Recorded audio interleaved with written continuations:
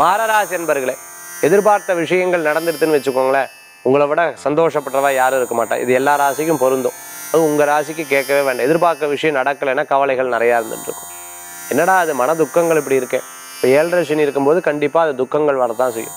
அதெல்லாம் தாண்டி வந்துடும் கவலைப்படாதீங்க. எல்லாரும் பேசும்போது அதை மனதளவில் தயவு செய்து எடுத்துக்க வேண்டாம். மனதளவில் எடுத்துட்டா தானே கவலை.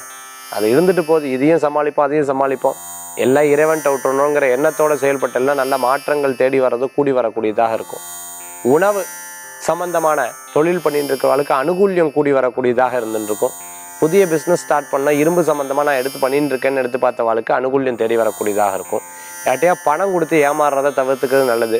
அவள் நம்பிக்கையாக பேசுகிறா ரொம்ப இஷ்டமாக பேசுகிறா ரொம்ப தொழிலை பற்றி ரொம்ப எடுத்து சொல்கிறான்னா அந்த தொழிலை பற்றி இவர்கிட்ட மட்டும் இல்லாமல் வெளியிலையும் விசாரிங்க மற்ற அந்த நபரை பற்றியும் விசாரிங்க. அப்போ உங்களுக்கு அதை பற்றி தெரியும். இன்றைய தினத்துக்குண்டான அதிர்ஷ்டமான எண் ஐந்து நிறம் சிகப்பு. வழிபாட்டுக்குண்டான தெய்வம். நவக்கிரக வழிபாடு வெற்றி வழிபாடு மகரராசி அன்பர்கள்.